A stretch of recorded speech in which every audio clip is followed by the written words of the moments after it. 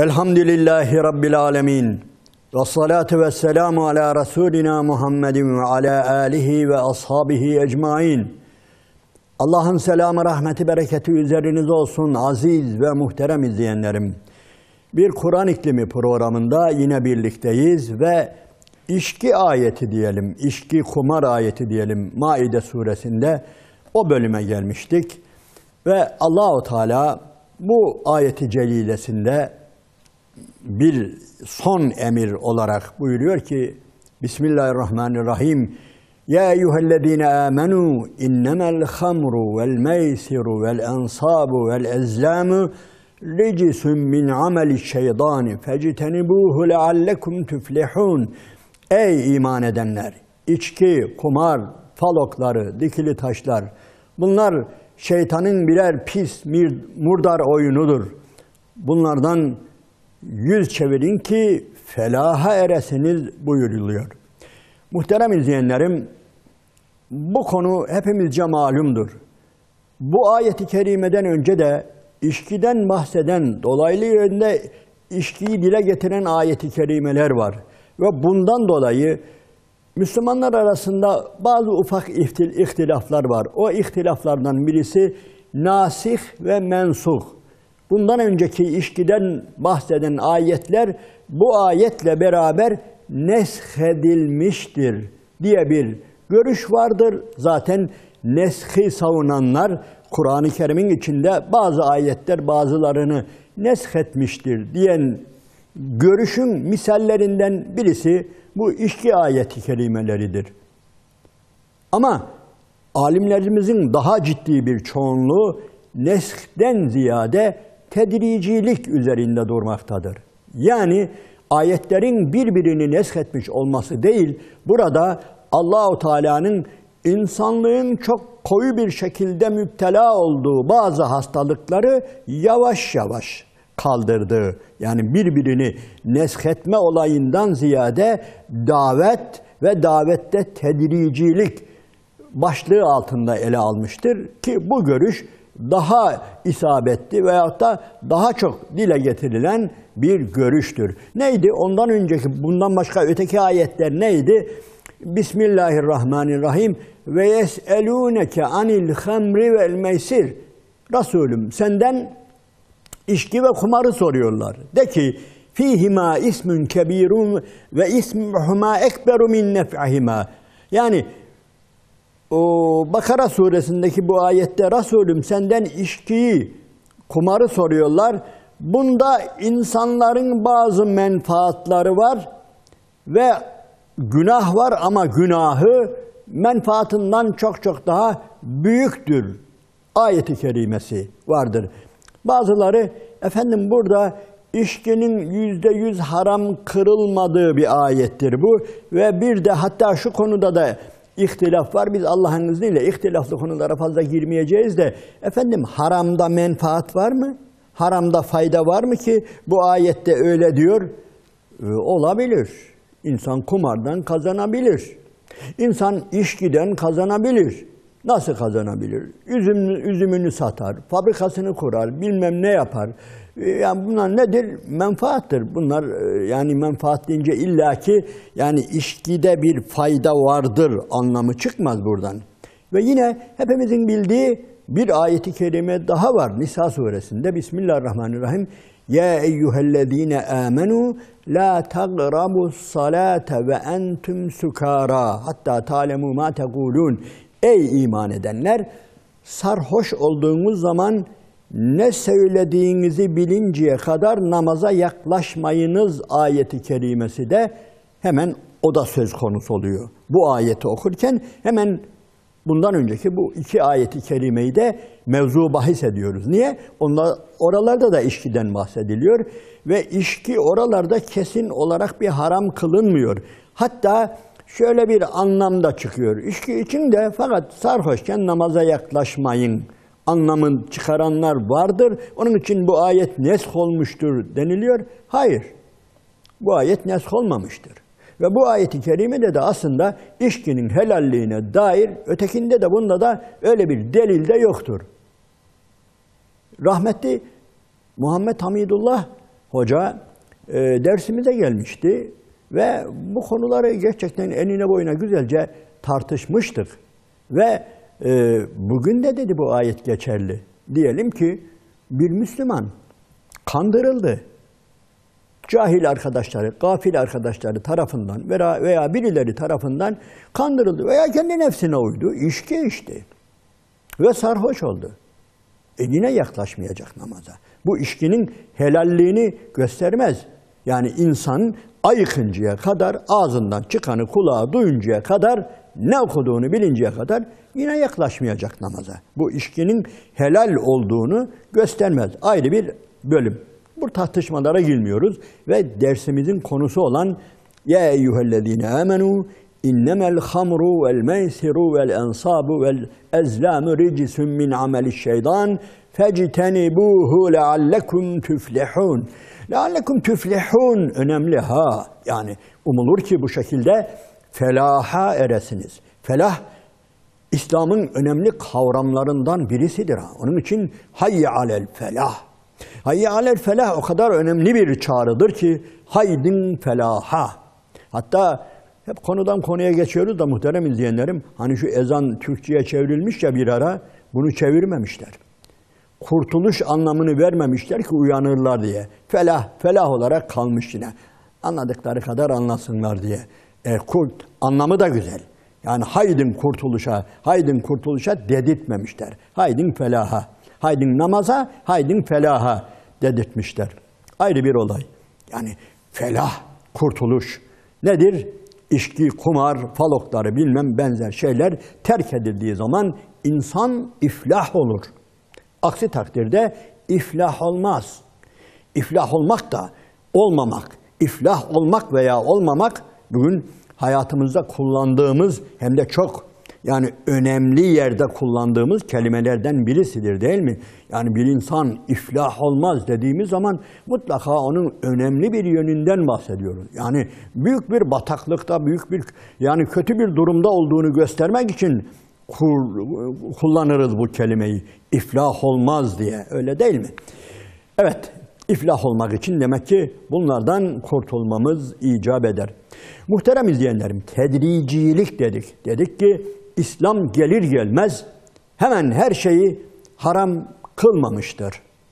Belki diyeceksiniz ki efendim e, kılsaydı madem ki kötü bir şey muhterem izleyenlerim bazı hastalıklar var ya topluma öylesine sirayet ediyor ki gerçekten onlardan kurtulmak böyle bir çırpıda kolay olmuyor. Bazen insanın kendisini ürkütebiliyoruz, kaçırabiliyoruz. Hatta bugün bile bazen öyle durumlar oluyor ki, yani siz bir seçim yapıyorsunuz. Siz önemli bir karar veriyorsunuz. Ama sigara içenler yok, onlar gelmeyecek dediğimiz zaman bu bir problem oluyor ha. Niye? Yani bugün bu sigara denilen illetten kurtulmak böyle e, bir çırpıda olmuyor. Bir düdük çalmayla haydin bırakıyoruz demekle olmuyor. Çok zor iş olduğu için bugün mücadele ediliyor. Yani sigarayla mücadele gerçekten önemli bir mücadele. Yani haram desek bir türlü, demesek bir türlü yani iş kötüye gidiyor. Yani neden? Ee, bunun ihtilası, buna müptela olmak gerçekten Allah korusun. Yani ağır bir dert. İşki de böyleydi işte. Hazreti Ayşe annemiz anlatıyor. Eğer diyor yani İslam'ın ilk gününden diyor hemen diyor Buhari'de rivayet ediliyor. Eğer içki ve benzer şeyler ilk günde haram kılınsaydı diyor Allah'ın Resulü'nün etrafında kimse kalmazdı diyor. Çünkü herkes içki içiyor. Çok insan içki içiyordu diyor. Ve kolay kolay da yani böyle bırakma düşüncesinde değildi. Onun için İslam biraz müsaade etmiştir. Ve bu ayeti kerimelere, bu ayeti kerime ta Bedir'den, Uhud'dan falan epeyce sonra nazil olmuştur. Hatta ondan dolayı muhterem izleyenlerim Müslümanlar arasında hafiften bir münakaşa diyelim çıkmıştı ki ya bu haram kılındı da yalnız bu dünyadan cennete gittiğine inandığımız bazı insanlar midesinde içkiyle gitti. Ne olacak? Hamza öyle, Musab bin Umeyr öyle. Yani Sa'd ibn Ebi Vakkas böyle şeylere karışmış. Yani bu ne olacak diye ya bu münakaşa var. Yani demek istediğim muhteremler Allahu Teala ikrahını versin diyoruz ya bu çok önemli. Ve kerraha ileykumul kufra vel füsuga vel asyan. O Allah size işte bir takım kötülükleri yani bir haramı şunu bunu isyanı size kerih gösterdi. Kötü gösterdi. Allahu Teala kötü göstersin ki kurtulabilelim. Yoksa gerçekten gözümüzde büyütmek veya cahillere bir takım fırsat vermek değil de yani büyük bir hastalık. Onun için İslam'ın son zamanlarına doğru yani Uhud'dan sonra falan içki haram kılınmıştır. Bunu unutmayalım. Muhterem izleyenlerim e, bir takım olaylar da var ha. Yani içkinin haram kılınmasıyla ilgili sebebin üzül diyelim.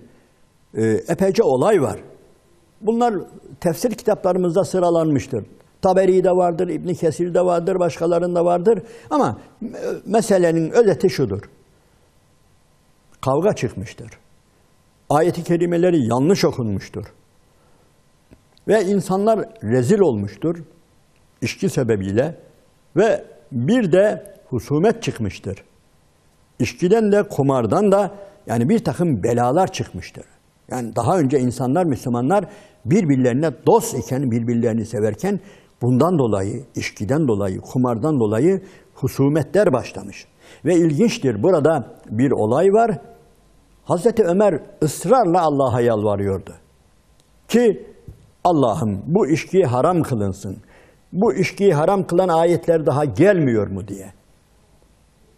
Muhterem izleyenlerim, Hazreti Ömer sadece bu konuda değil ilginçtir. Birçok konuda Kur'an'a hep Kur'an ayetleri inmeden önce Kur'an'a muvafık düşmüştür. Hep uygun düşmüştür.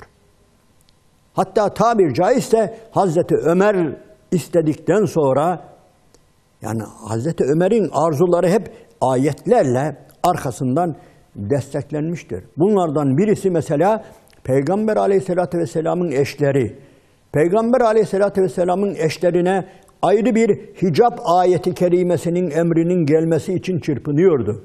Çünkü o tahammül edemiyordu. Evet Peygamber Efendimizin eşleri de annelerimiz de diğer müminler gibi örtülüydü. Ama ayrılması, bir ayrıcalığının olması, tanınmaması, hiç bilinmemesini istiyordu Hazreti Ömer. Yani dışarıda görüldüğünde hiç bilinmesin istiyordu. Kısacası yani rivayetlerin özeti bu. Ve ondan sonra hicab ayeti kerimesi geldi. Bu geldi. İşki ayeti kerimesi geldi. Ve yine çoktur. Hatta bazı Tecridi Sarih'te 17 tane ayrı madde sayılmıştır. Hazreti Ömer'le Kur'an-ı Azimüşşan'ın aynı örtüştüğü, yani Hazreti Ömer'in arzuları istikametinde Allahu Teala'nın ayetlerinin geldiğine, birbiriyle örtüştüğüne dair 17 tane misal vardır. Ama o değil de birisi benim çok dikkatimi çekiyor. Müminun suresi iniyor.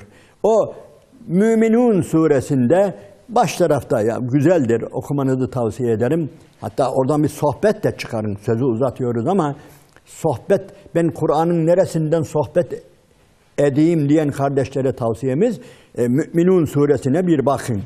Yani onun baş tarafında gerçekten kad eflahal müminun ellezine hum fi salatihim haşiun yani burada yani müminlerin 9-10 tane ciddi özellikleri yazıyor. Yani anlatılıyor. Oralar bir sohbet konusu. Fakat ondan sonra bir bölüm geliyor.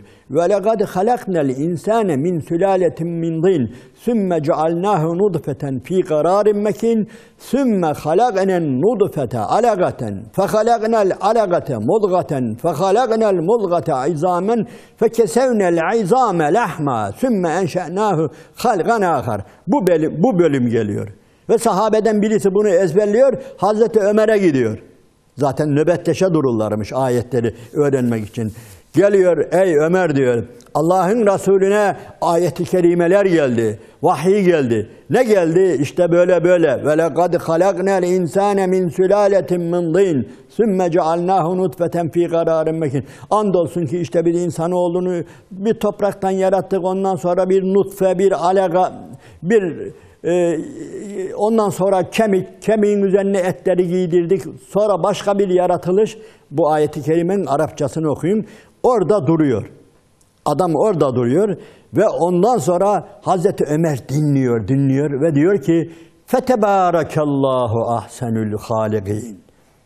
Yaratıcıların en güzeli olan Allah'ın şanı ne yücedir. Fetebârekallahu ahsenül hâligîn deyince bu haberi getiren sahabe şaşırıyor. Bakıyor. Niye? Çünkü ayeti kerimenin devamı da böyleymiş. Yani ayeti kerime daha bitmeden, gelmeden, duymadan Hazreti Ömer öyle bir hayrette bulunuyor ki Fetebârekallahu ahsenül hâligîn Meğer ayet de böyle bitiyormuş. Fetebârekallahu ahsenül hâligîn Yani bu aslında ayrı bir konu. Hazreti Ömer'in fıtratı, Hazreti Ömer'in yaratılışı, hakka, hakikata yani böyle iç içe oluşu, örtüşmesi ayrı bir olay. İçki konusunda da Hazreti Ömer radıyallahu anh ısrarla dört gözle onu beklermiş ki bu içki, bu kumar ne zaman haram kılınacak diye ve sonunda söylediğimiz gibi haram kılınmıştır. Ondan sonra muhterem izleyenlerim, müminler hele fehel entüm müslimun daha yani bırakmadınız mı, bırakmıyor musunuz? Ayeti kerimesi bura, bu ayeti kerime bu şekilde son bulunca inanınız Medine'nin diyor sokakları hep şarap küplerinin, şarap bilmem o kırbalarının devrilmesiyle diyor şarap koktu her yer diyor. Öylesine yani terk etti. Fehel entüm müntehun. Son vermeyecek misiniz? Bırakmayacak mısınız? Ayeti kerime bırakacağız ya Rabbi. Bırakıyoruz ya Rabbi. Son veriyoruz ya Rabbi diye iman, teslimiyet bu. Ama bunu ilk günden söylemiyor. Dedik ya ilk günden bu emir gelmiyor. Artık pişiyorlar, oluyorlar. Zaten imanları var. Yani e, arada içki içseler de yani imanlarında bir şeylik yok. İşte bu emirle beraber Medine'nin sokakları diyor içkiyle koktu böyle testilerden efendim kırbalardan, küplerden içki aktı. Muhterem hemen bunları okuyoruz, geçiyoruz muhterem Müslümanlar da. Yani Amerika 1929 yılında yani içkiyi yasaklamıştı. İlginçtir. Ve ama yani trilyonlar harcamasına rağmen hiçbir şey yapamamıştı. Bu da ayrı bir olay. İçki konusunda epeyce söyleyeceğimiz şeyler var. Bunları daha sonraki sohbetlere bırakıyoruz. Sohbetimizi şu anda burada e, neticelendiriyoruz. Allah'ın selamı, rahmeti, bereketi üzerinize olsun aziz ve muhterem kardeşlerim.